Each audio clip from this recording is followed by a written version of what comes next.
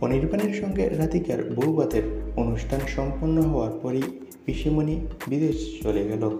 কিন্তু কেন এমন করল? বিস্তারিত জানতে ভিডিওটি দেখুন আর বললেন ফ্যাকশন বিডি চ্যানেলে নতুন হলে সাবস্ক্রাইব করুন। ডক্টর অনির্বাণ ও রাধিকার বিয়েতে উপস্থিত ছিল রঞ্জা ও পোখরাজ। পোখরাজকে আবারও দেখতে পেয়ে ভালোবাসা বেড়ে যায় দর্শকদের একাংশ। তারা বলছে, পোখরাজ এখনও রঞ্জাকে পুরোপুরি ভালোবাসতে পারেনি। রাধিকার প্রতি তার মনটা সেই পরেই রয়েছে। পোখরাজের অভিব্যক্তি, রাধিকার সংসার যাতে ভালো হয়, সে সারাক্ষণ এটাই চাচ্ছে। চোখে মুখে সেই অভিব্যক্তি প্রকাশ পেতেই দর্শকরা আবারও পোখরাজের জন্য কান্নায় হাহাকার করতে শুরু করে।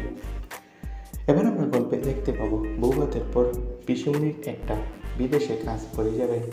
এরপর পিসিমণি সিদ্ধান্ত নেবে সে বিদেশ চলে যাবে। তবে বিদেশ চলে যাওয়ার পর পিসিমণি চরিত্রটি আর সিরিয়ালে আসবে কিনা সেটা নিয়ে দুয়াশা তৈরি হয়েছে। তো বন্ধুরা এই বিষয়ে তোমাদের মতামত কি? কমেন্ট করে জানাও। ধন্যবাদ।